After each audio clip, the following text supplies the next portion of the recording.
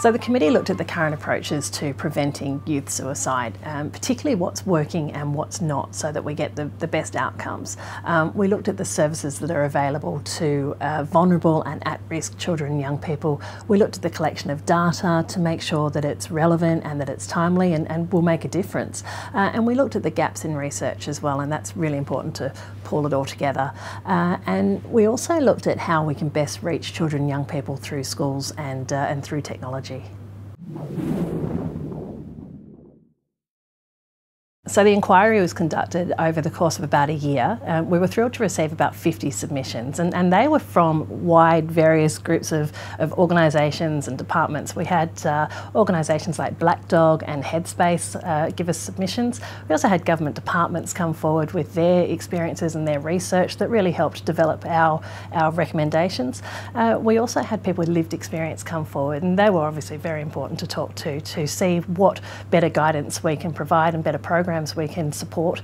Uh, and really importantly as well, we had some bereaved families come forward to us. And uh, obviously that's uh, difficult for the committee to hear, but they provided such valuable information that it was very important and, and we really thank them for coming forward as well.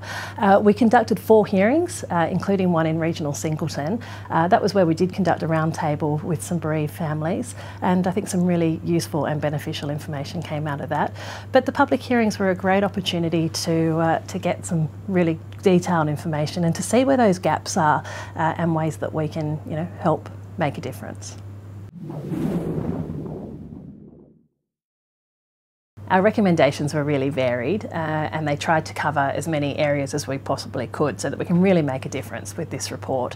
Uh, it, it, looked at uh, improving access to services and data collection. There's a real delay in time for data collection so we're making sure it's all coming together quickly, that uh, it really can be utilised at the time where it's actually happening. Um, we looked at measures to improve governance and, and the coordination of suicide prevention programs as well uh, and particularly follow-up care for after hospital. That's really vital that that care is provided uh, after people leave hospital, that they're not left in isolation at that time.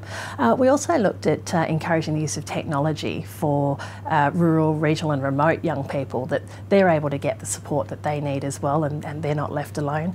Uh, and we looked at the rollout of gatekeeper training so that people in our schools are able to provide the support that young people may need and children may need and also that that gatekeeper training is provided for foster carers uh, and, uh, and workers in child protection so that they're there as well to provide that support that children and young people need. The committee hopes that our recommendations will be taken by government departments and organisations and, and, all brought together so that those gaps are addressed and we really hope that uh, our work will make a, a difference in the lives of children and young people.